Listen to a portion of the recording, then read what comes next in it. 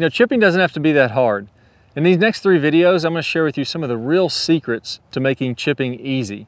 People have told me time and time again this has helped them tremendously on their short game and I can't wait to share it with you. Let's go and get started. It's so common to see players chunk and thin shots around the green, but what if I told you it is really simple to hit clean chip shots day in and day out, really close to the hole, if you know the right technique. I'm gonna go over some of the biggest mistakes that you can make, and if you're making these, man, you're making chipping hard.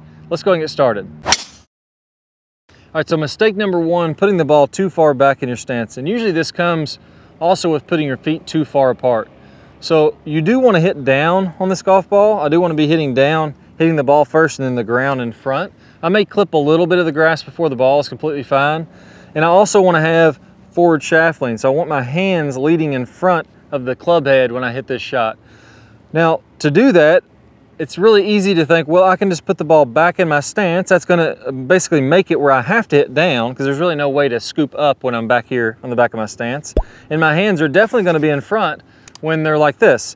But if my feet are this far apart and my weight is also on my left side, like we've heard, you know, basically everybody says, this ball is way far back of where my low point is. So if my weight's on my left side, I'm gonna be kind of grounding out or the low point of my, my swing arc would be kind of under my, the inside of my left shoulder here.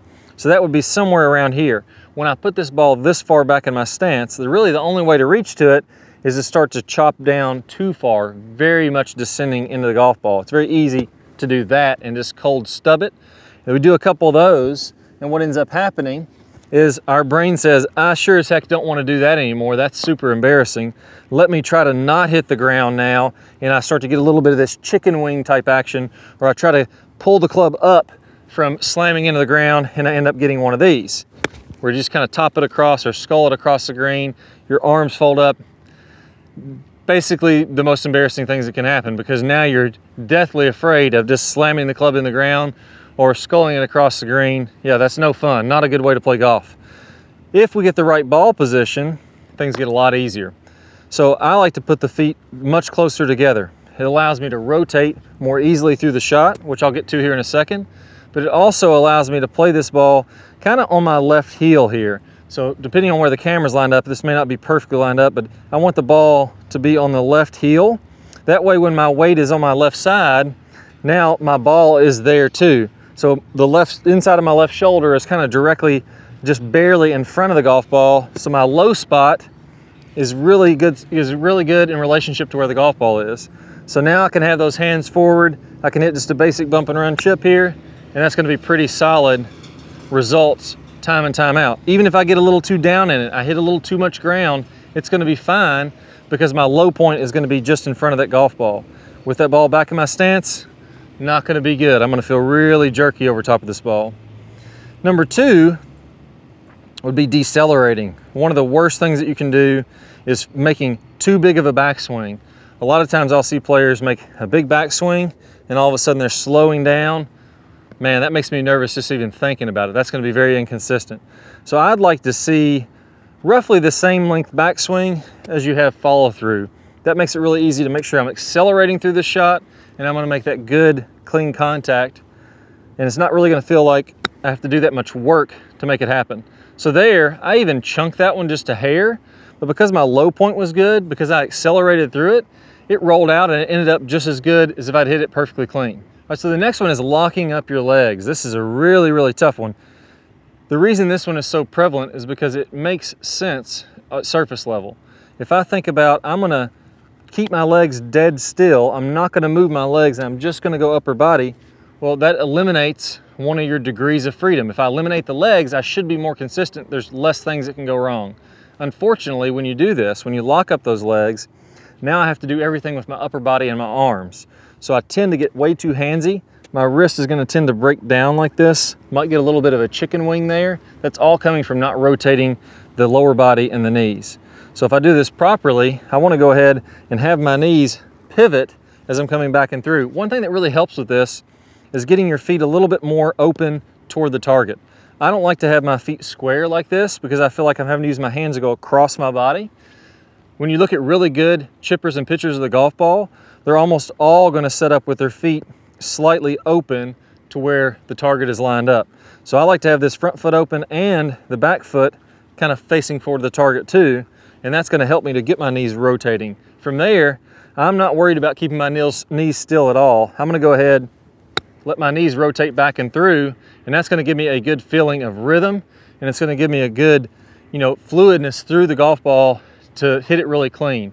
If I point my feet forward, if I lock up my lower body, I'm all hands and arms, it's gonna be a disaster. You're just gonna hit so many thin ones and chunks, it's gonna be really miserable doing it that way. You may be able to do that if you're using a super low lofted club and you're not very far from the hole. Here I'm a little bit farther.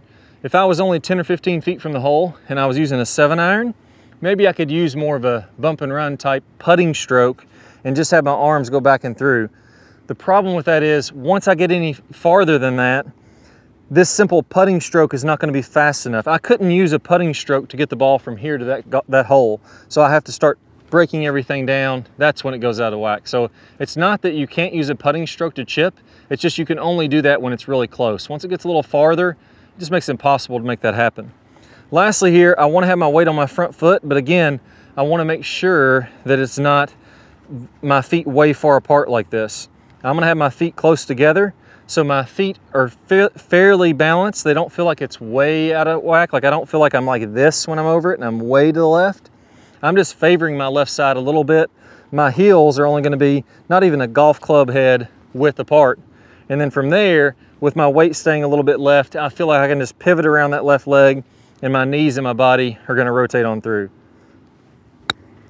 You see if I do that, I can get really consistent results. I just need to learn to aim a little bit more to the left.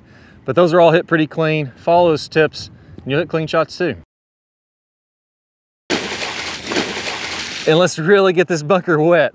So I'm not playing around here.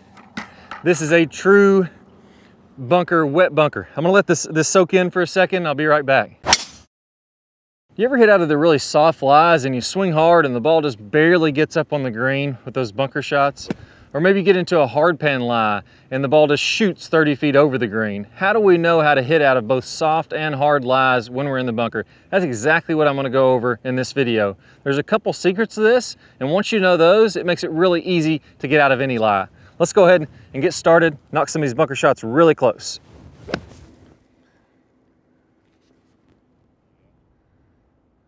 All right, so first let's talk about, you know, a nice normal lie or a fluffy lie. There's plenty of sand, the ball's sitting nicely. We can really go ahead and hit this one hard. Now with this type of a shot, you wanna make sure that you have this, the face really open. And what this does is it exposes the flange on the bottom of the club. So there's this big chunk of metal that's sticking down into the sand, kind of acting like a rudder. And when you open that up, now it's gonna glide through the sand. So the, your club's gonna come down, it's gonna hit the sand, and then slide through it without digging really deep. So if I hit this one here, I'm gonna have the face wide open.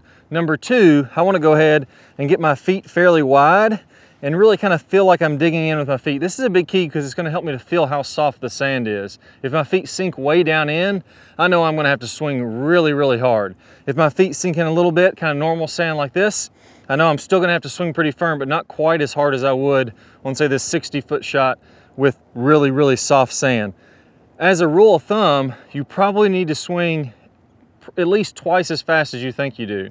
I took a, a radar, actually a GC Quad, it has a high speed cameras that'll read how fast the club is moving.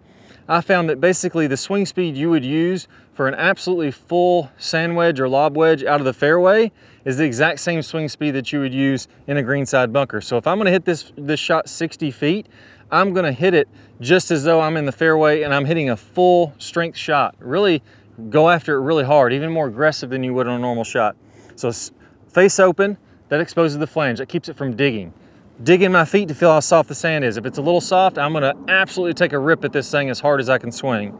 Number three, I'm gonna play the ball slightly up in my stance, and I'm gonna keep my weight on my front foot pretty much the entire time. Now from here, I'm gonna feel like my club goes vertical. I don't wanna feel like I'm swinging around my body in the sand. I wanna swing a little more vertical and I wanna pop that club down into the sand, really hit at it aggressively. Now if I can do that, I should be able to draw a line four to six inches behind this golf ball and my club should enter the sand somewhere back around that line. So here, let me go ahead and do it through that. Open up, big swing, wide feet, and I'm really gonna thump this sand. There we go, hit a nice one there. So I really feel like I had to swing super hard to get it pretty close on this 60 foot shot. A little short of what I would have wanted to have happen. I should have swung just a little bit harder than that. It's that simple. But that's an acceptable result from being farther away. Typically when you get more than 20 or 30 feet out on a bunker shot, they get pretty tricky because I have to really swing so hard to get it there. Now, another thing that, that I find really messes people up with this, they just don't open the face enough because you're not used to swinging that hard. What I'll see most players do when they get in the bunker is they'll square up this face. Then if I start to swing easier, so let's say I square this face up, I'm gonna do this the wrong way. If I swing hard like I should swing in a bunker shot, let's see where this one goes. That shoots way over the green. That one flew completely over the green. So if you have that square face, you instinctively know, well, I can't really swing very hard. Let me take something off of it. Well, with that square face, when I start taking something off of it, it gets really, really dicey. Notice how with this divot, how much it dug down into the sand? That's because I took away that bounce on the bottom. Square face, that leading edge is really sharp, and now it's gonna start to dig. So if I try to swing a little bit softer here with that square face, now I'll leave it in the bunker because I tried to swing softer. The first one sailed over the green. The second one I, I made it a little softer. The club dug in the sand and I just didn't get to the golf ball. It didn't go anywhere. So you really have to, and this is something that I see basically everybody doing. You're not opening the face enough, but the reason you're not opening the face enough, you're just not swinging anywhere near hard enough. I want that face wide open, and I want you to swing at this ball as hard as you can. Don't worry about hitting the golf ball, just thump the club into the sand behind the golf ball. If I do that really hard, it's gonna be completely fine. That felt like a full wedge shot to me, and I only hit it about 60 feet or so. So really be aggressive with it. Now let's talk about when you have those firm lies. Let me go ahead and grab this big Home Depot bucket of water here and let's really get this bunker wet. So I'm not playing around here. This is a true bunker, wet bunker. I'm gonna let this, this soak in for a second. I'll be right back. All right, so we got this soaking wet bunker. This is really gonna compact the sand. Usually after a rain, the bunkers are gonna get pretty hard. So you wanna adjust your technique here a little bit. When I normally play a shot, like I talked about, let's say this is a square face, I'm gonna open that face up probably a good 45 degrees, that leading edge of the club 45 degrees open. When I set that down on the ground, that's gonna look like it's just facing straight up to the sky. You look at any PGA Tour event, that's what you're gonna see as far as the face, what it looks like. Now when this bunker gets harder, I'm gonna tend to skip if I do that. This big flange that sticks out of the bottom, if it's really pronounced like this, if I hit four to six inches behind the ball when the bunker's soft, it's gonna tend to skip and not dig, and I could thin that golf ball. So what I'm gonna do is instead of it being about 45 degrees open with the face, I'm only gonna be about 30 degrees open with the face. And instead of hitting somewhere in that four to six inches behind, now I wanna hit two to four inches behind the golf ball. So that's not where I'm aiming, but that's when my, my, my club very first comes into contact with the sand. I wanna feel like I'm aiming in a spot right behind the golf ball, and especially with this firmer, harder sand, I wanna feel like I hit down more. That way I can penetrate into the sand, and what I don't wanna have happen, the worst thing that could happen, is if I hit, I don't get down enough, I don't thump the sand hard enough, and it skips off the sand and goes back up into the golf ball. So that's the one that skulls across the green, you get nervous, and then the next one, you make a really timid swing and you leave it in the bunker. Really frustrating. So the keys to or harder sand, a little bit less open with the face. I'm gonna aim a little closer to the golf ball and I need to be ultra aggressive, even more aggressive than I was with my softer sand in making sure that I hit down. I don't wanna get timid with this. I'm gonna start thinning them and leaving it in the bunker if I do that. I wanna really concentrate on feeling like I'm just gonna slam this club into the ground behind the golf ball. So I really wanna have that downward hit, kind of like that. I really wanna thump the sand with it. So that's exaggerated there. Let me go ahead and show you an actual shot here. So a little less open with the face, aiming a little closer to the ball, and I'm really hitting down more and still being very aggressive. There we go, and that ball came out a little bit hotter because the face wasn't quite as open, but you can see here I really thumped the sand. I wanna I want to hit my club into that sand. If you follow those rules, you'll be able to get out of both soft sand and really hard sand. All right, in today's video, I'm going to share with you some absolute secrets on pitching it like a pro. Now, I'm not talking about pitching it okay or decent or pretty good. I'm talking about absolutely being a magician around the greens and being able to feel like you can set up over a shot like this and hit every single one of them with spin close to the hole to almost feel like you could just toss it up there within tap in range every single time. It can be that easy. I'm on a fairly tight lie here. Some people might get nervous on this. This isn't really long, fluffy grass. You'll see all these are coming out clean and I'm just chopping them right up there by the hole. It can be easy once you learn the right technique. Now, there's a couple things I'm gonna go over in this video. I'm gonna go over what I call the front shoulder pivot, and we're gonna talk about how to get absolutely laser dialed in on your low point. You notice all those look like I was barely just brushing the grass and I had an open space 60 degree wedge, but they're coming out low with a lot of spin. I wanna share with you the secrets on how to make that happen. Let's go and get started. All right, so let's jump into the details on this. I'm gonna break it down for you piece by piece. Now, as I started diving more and more into short game and really trying to master it myself, I realize it is extremely frustrating because there's so many different styles. You see some people saying to lock the hips in the lower body and use more of an upper body like a putting type stroke. You see some people talking about rotating the body. Some people are going to tell you that you need to have a little more of a cut swing. Some people are going to tell you you need a little bit more of a draw swing, play it off the toe, play it off the center, have the hands low, have the hands high. You're hearing all this different stuff. And I'm not saying that a lot of that doesn't work. And really, I think you can do a lot of different styles and make it work. I'm gonna share with you the style that I have found works the best. And I'm gonna break it down for you piece by piece. And I'm gonna give you some drills that are gonna seem a little counterintuitive, honestly. But once you try those out, you're gonna see the results firsthand. You're gonna see me hit some great shots here. And I know if you follow this, you're gonna have a lot of success with it. So this isn't the only style that works, but this is a style that if you practice this, you do the drills that I'm gonna give you here, make sure you bookmark this because you're gonna want to refer to it because you're gonna be chipping and pitching it awesome when you're doing this. So first off, I want my feet very close together.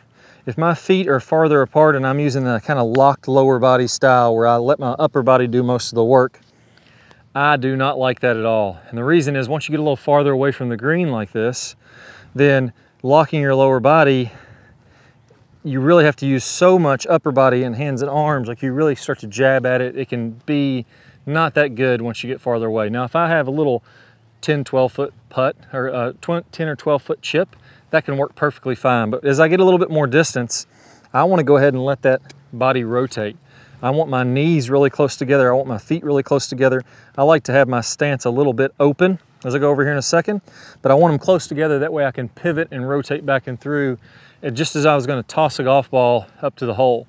So that's the first piece. I almost feel like your, your heels are within two or three inches of each other would be really good on a shot like this. And I really want my body to rotate back and through so that it's creating a momentum. And that's what we'll go over a common theme in all this is that you want to have a momentum to your body and let it go back and through rather than, rather than trying to get jerky or jabby. Number two, I want to have the face a little bit open. Simply for this, it gives me a little bit more margin for error for a couple reasons. As I open the face, this flange on the bottom of the club starts to get exposed and it helps it glide through the turf, which means less chunking and less thinning. It also allows me to get a little more forward shaft lean without delofting the club too much. So here I have a 60 degree wedge. I'm gonna open the face a little. That probably turns it to, let's say 65 degrees, something like that. And then I'm gonna lean the shaft forward a little bit, which turns it back to its, you know, a little less than 60 degrees at address. So that way my hands can be leaning in front. My hands can be leading the way as I make contact to this, which will make the contact more consistent and I'll still have enough loft there to generate some spin. So here, a little bit open, the hands are leading the way. And again, I'm rotating my body every single time, getting that nice clean contact, even made one. All right, so this is gonna be pretty good. I feel like this is gonna be a, a nice video where everything's gonna start to come together from you. So we're off on a good start here, feet close together, body rotating, play the face a little bit open, play the hands a little bit up. Here's the part that is the most important of any of it. It's contact. You'll notice when I'm hitting these shots that I'm brushing the turf. I'm not digging down into it. So I'm not playing my hands forward with this late leading edge square and hitting down into that where I'm really chopping down into the ground. If I do that, I could start to lay the sod over it. I could start to chunk some and thin some. So we definitely don't want that to happen because we're going to be inconsistent if we start to hit down into the ground too much. I'm also letting the momentum dictate my low point. So as I swing back and through here, as I go back and through, I'm feeling like, almost like I could take two fingers and just barely kind of let the momentum of the club swing as I let it fall out of my hands. That's how loose I'm holding it here, but let the momentum of this club swing and I could brush the turf. So I'm, gonna, I'm actually gonna do that. I open the face slightly, I'm gonna let my body pivot and I'm just gonna take a couple fingers here in my left hand and I'm gonna feel like I just brush the ground. That's the feeling that I wanna have to create that. So the reason the ball is coming out low is not because I'm de-lofting the club. The reason the ball is coming out low is because I, I do have a little forward shaft lean, but I'm hitting it so clean. What's happening is this club face is grabbing the ball. There's a lot of friction there. And because I'm, I'm hitting down on it slightly or level with the ground, that ball is grabbing the club face and coming out lower. It's not the loft on the club that's making that go fairly low. And on this one, I'm actually gonna play the face open again. You'll see this by looking at my club face. It's fairly open. And I'm gonna try to hit one really low just with a lot of really good friction. There you go. You see that never got much higher than pin high. I hit it a little hard trying to get more spin on it.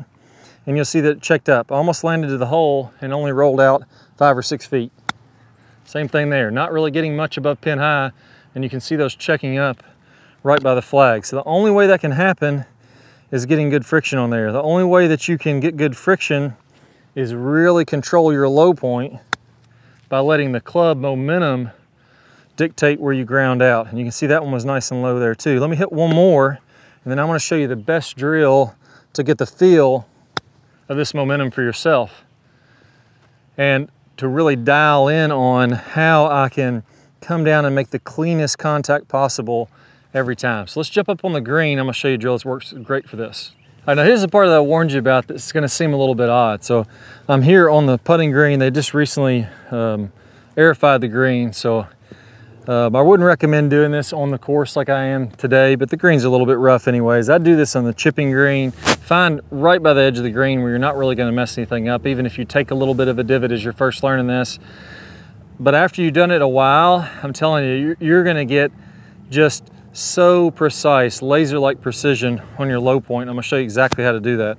So what we're trying to be able to do here, if you're gonna be a fantastic pitcher and chipper of the golf ball, is I have to be able to control when my club comes down, I need to be able to have it hit the ground in the same spot every single time and at the same depth. So you can see I'm swinging hard enough there to where I'm actually roughing up. I'm, I'm getting a little bit of a smack. You can see some sand kind of popping up as I'm doing that. And because my club face is a little open, it's just the bounce of the club is kind of skipping on the turf. It's not that leading edge. If you expose that leading edge, you're gonna have difficulty digging into the ground. So if I expose that leading edge, I can hit a little too far down, chunk it, and it pops up. I can hit it a little thin and it shoots across the green. If I have the face a little bit open like this, I can still get a little forward shaft lean and that leading edge just isn't quite exposed there. I'm never gonna dig. You can see I've, I've hit this ground 10, 15 times and I'm not digging down there. Now there's a difference here in how you've probably seen people say that before and you probably think, well, you know, Clay, I would just do that. If I could control it like that, I'd just do it. I'm gonna show you the technique that makes that possible. What you wanna do is almost feel like you focus on your left shoulder, almost feel like you have a little reverse pivot. So as I come back, I'm almost leaning left as I'm going my backswing. I'm gonna exaggerate so you can see that. And then you'll notice I'm doing that a very small amount in my normal swing. So here I'm leaning left. And then as I come through, I'm falling a little bit back. And as I fall back, my hips extend. So I'm not doing this. That's the death move. I'm keeping my chest down. That's the death move for chipping. I'm doing this. I'm leaning left. And as I fall back, now my body's moving back, my hips are moving forward. My hips are toward the target because I've rotated. And because I'm falling back a little bit, that controls my club from digging in the ground. I can feel like I'm throwing this thing in the ground as hard as I want to, but as long as I come back this way, what happens is that left shoulder rises and I feel like I couldn't chunk this thing if I wanted to because as I fall this way, it just levels it out. It's like taking this club. Imagine I was gonna drop it into the ground like this. So I have the club here and I'm just gonna let this thing fall into the turf. But what happens when I lift my hand up? right as my hand starts to turn back up, it levels it out like a, like a plane coming into a runway. It comes down it levels out, and it's gonna come back up if it wants to. Same thing's happening here. I'm letting the momentum of the club swing, and I'm letting the pivot of my left shoulder and my body make sure that that never digs down in the turf. That's why I can take just with one hand, I'll move this ball so you can see, I could take just with one hand and I could just brush the turf there every single time. It's not like I'm some fantastic athlete. I'm just using the momentum of the club and the pivot of my body to control that low point. So what I'm feeling there, little forward shaft lean, I'm leaning this way, my left shoulder is coming down. I'm exaggerating here on that. You'll see me doing it more uh, to a smaller degree in the real one. And then as I come through, my shoulder leans back and that keeps me from digging. That's how you can get this low point control really, really good. And eventually what we want to be able to do is we want to be able to hit these golf balls off the green and feel like we're never going to take a divot. I hit that one about 30 feet in the air. I'm never going to take a divot. I'm never going to dig. And I could just sit in there and hit them all day. So I've hit two in a row. Both of those flew at least 30 feet. They ended up almost 50 feet from me. And I didn't dig anything into the ground. I still hit the turf. I still brushed the grass a little bit but you can look on the camera, you see there's no, there's no digging. I'm not roughing up that turf at all. So I'm making really nice, clean contact. Now I'm going a little farther. That one flew about 50 feet in the air. And I'm gonna go even farther than that here and make a little harder swing just to show you, you can ramp this up and go faster and faster once you get it down. And that's about the max I can do. That's about a 70 footer. That was just a little tiny bit thin there, but even for this drill, that would be pushing it. So I really just want to do this, feeling that momentum of the club and just practice by hitting little five and 10 foot chips like that. Now here's the way you get your precision in on it. What's gonna happen is if you go straight to the turf, you're gonna get a little bit nervous. You're gonna feel like you don't wanna dig down in there and you're gonna pick it up or you're not gonna have that pivot down yet and it's gonna wanna dig on you. You're gonna chunk it one time and you're gonna wanna quit this drill. Here's how you wanna start with a bucket of sand. And I'll be honest with you, most people aren't gonna do what I say here. And most people aren't gonna get the success that you get if you do what I say here. But if you take the time to do this every day, or, or at least seven times, I would say, here's how it's gonna happen. The first time you do this drill, you're gonna think, daggone it, this is impossible. I'm never gonna get this. This is so hard. I don't know what Clay's talking about. I can't feel the pivot. I can't feel my left shoulder. I can't feel the momentum of the club. It's really, really tough. The second time you do this drill, you're gonna think, man, that was hard, but oh, that one I actually hit pretty decent. By the third time you do this drill, and the fourth and the fifth, it's gonna start to feel pretty good. By the sixth and seventh time, it's gonna feel just completely natural, like you can just brush this turf every single time. It's not gonna be that hard for you. But if you quit after the first one, you're never gonna get to the good stuff. So here's what I wanna feel. Again, it's like if this club was gonna fall down in the ground, I'm lifting my hands up to keep it from digging there. I'm doing that by letting my shoulder come down. You watch a lot of great pictures of the golf ball. The they're gonna look like they're leaning a little left and then as they come through, they're falling back this way, away from the target. So I'm gonna set up a little pile of sand about an inch tall here. And what I wanna do is I just wanna clip the very top portion of that sand. So I've hit that sand now, and I've made two swings. I barely touched it that time. Three swings, I'm just clipping little grains of sand off there. I missed it that time. But I'm and I'm just gonna fast forward here right? And I've rushed it now down to where all the sand pile's gone and there's nothing left. I'm gonna see how many strikes I can make with an inch tall pile of sand until I get down to the bottom. And if I can get four, five, or six little swipes where I just take a little bit of sand off and a little bit more sand off, a little bit more sand off, then I'm really controlling the low point. Now, you don't have to do that very much. 15, 20 swings, and you'll be surprised how much better of a feel you have for this. And again, two, three, four days in a row, and now all of a sudden you have a really good feel to where you can just kind of pick it every single time. Now there's one missing piece with this. This shot is fantastic when you're fairly close to the green. Once you get outside, say 35, 45 yards, it gets a little bit tougher to use this technique. There's actually a different technique that you want to use, but how do we dial in the distances there? It seems like the pros are really good from 50, 60, 70 yards, hitting it right on the number. Well, there's actually a system that you can follow, a framework that allows you to do this very, very consistently, and I'm gonna walk you through it in this next video. I'm gonna play a preview of that video here in a second. All you need to do is go ahead and click the card that pops up on your screen. And don't worry if you don't see that card, just go down to the description below this video and click the link there and you'll get instant access to this technique that's gonna allow you to be right on the money on those distances. So I can't wait to share it with you. Let's go and get started. Well, I used to actually practice a lot in high school. This is one of my favorite things to do. I had a, a strip mowed down the back of my yard where I took the lawnmower. My parents probably hated this because I mowed it down to like half inch turf in the back of the yard because we lived on a farm. And I would set buckets or towels along this and I would try to set them at those distances that I knew. And maybe I, I knew my, my 56 degree went right at 65 yards. I'd set a bucket 65 yards away and I would go ahead and do my nine o'clock swing and I would try to fly it right into the bucket. And I'd be, get to where I could, I could tell for sure if I was gonna be a couple yards short or a couple yards long, just because it gets so ingrained when you get the rhythm and the finish the same every time. We can use different length backswings to control the distance of our wedge shots. So for example, if we imagine that I'm a clock and six o'clock is directly down, my wedge would be at, at six o'clock or my, my arms would be at six o'clock, I can go back to a 730 swing and I can have the same finish and hit it a certain distance, or I can go back to 9 or 1030 and swing through to the same distance, same finish point, and that's going to control the distance that my wedge shots are going to fly in the air. And I've got to keep that rhythm and that tempo very, very consistent. If I vary my tempos, I can hit it all kinds of different distances. So for example, I could have a real quick tempo 730 swing and probably hit this 90 yards.